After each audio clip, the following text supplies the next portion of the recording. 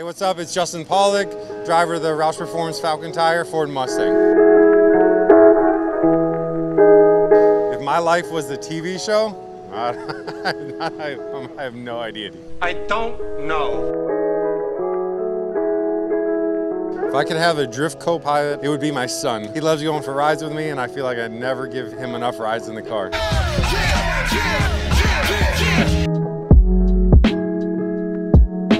I do. I have a golden retriever. His name's Max.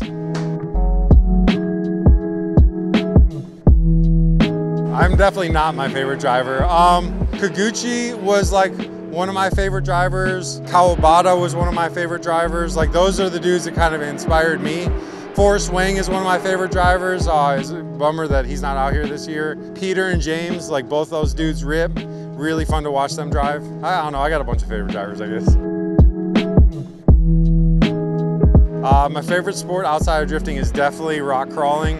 Uh, I'm really big into it. I'm building a portal axle rear steer buggy. Probably don't know what that is, but I don't know. In the rock crawling world, it's kind of like the standard right now. And uh, I'm working with my buddy to build some pretty gnarly rock crawlers.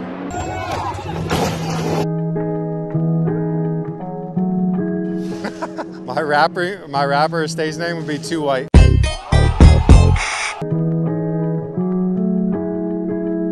Uh, if I was on death row, my last meal would be probably a Bora Bora sushi roll, uh, Lion King roll. I don't know, dude. I, I've been married for 12 years. I don't got no pickup lines. I don't know how to put this, but I'm kind of a big deal.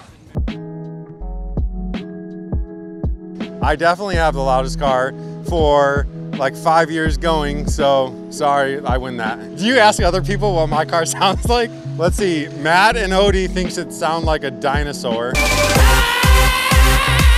I don't know, it's, it's just loud and obnoxious and I think it sounds great.